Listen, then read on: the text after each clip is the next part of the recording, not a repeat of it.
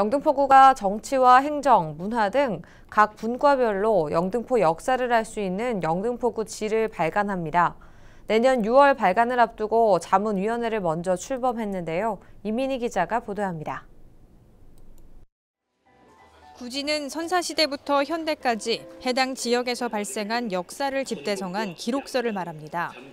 영등포구는 구지 발간을 통해 과거의 역사와 현재를 조명하고 미래 100년을 향한 발판으로 삼는다는 계획입니다. 지난 1991년 서울시 최초로 구지를 발간했지만 30년이나 지났고 대부분 한자로 적혀 있어 쉽게 접할 수 없었습니다.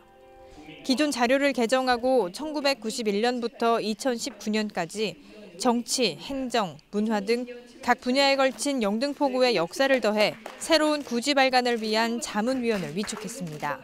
전문가분들도 필요하지만 그동안에 살아 오시면서 알고 계신 내용, 자료 등 그리고 체험담 그리고 뭐 여러 가지 그런 것들 함께 공유하고 기록에 남길 필요가 있다고 생각합니다.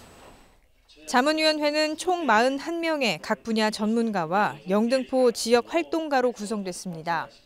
자문위원들은 구지가 발간될 때까지 활동하며 전반적인 구성과 내용 자문, 인터뷰 등 중추적인 역할을 맡게 됩니다. 구는 지난 3월부터 구지 발간을 위한 연구 용역을 시작해 자료 수집과 검토, 세부 계획을 수립하고 있습니다. 구지는 내년 6월 발간을 목표로 발간 이후에는 관내 학교와 도서관에 배부해 교육 자료로 쓰이게 됩니다. 또 관내 시설과 타 자치구에도 배포해 구 홍보 자료로도 활용할 계획입니다. CNB 뉴스 이민입니다.